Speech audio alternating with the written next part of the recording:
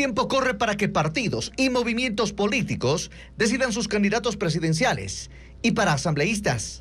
Sus elecciones primarias deberán realizarse desde la próxima semana. El Consejo Nacional Electoral tiene previsto que en menos de 15 días eso esté definido va desde el 25 de mayo al 31 de mayo.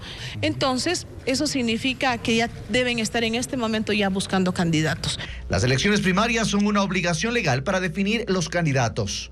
Izquierda Democrática convocó a su Consejo Ejecutivo y este fin de semana tomarán decisiones sobre su futuro electoral plantear una gran concertación entre todas las fuerzas de políticas de centro, izquierda y de centro para poder llegar al poder. Las alianzas facilitarían la designación de candidatos en el corto tiempo que tienen.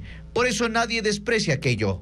Hacer una gran opción democrática, que puede ser en solitario, pero creo que fundamentalmente deberá ser en una coalición el partido Avanza, por ejemplo, tiene adelantadas conversaciones para una coalición de al menos tres organizaciones políticas, e incluso ya con un perfil presidencial. Tenemos como meta tomar esa decisión el día domingo, analizar varias encuestas, analizar varios estudios, contar con la opinión de varios expertos, analistas políticos amigos al, al, partido.